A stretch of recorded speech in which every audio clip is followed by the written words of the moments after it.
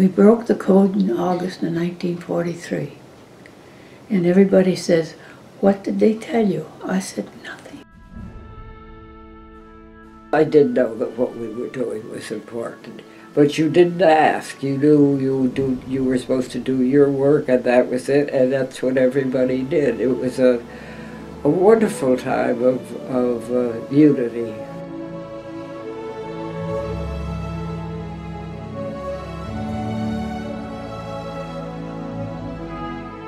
You were doing very similar things day after day.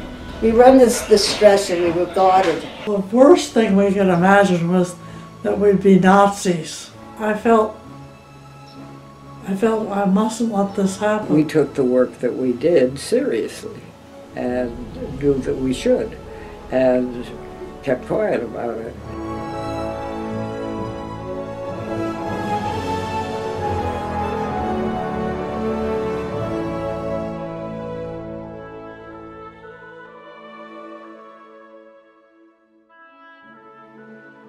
All that, that Commander Meader announced at, at supper one night good job, job, girls. You hmm. did good.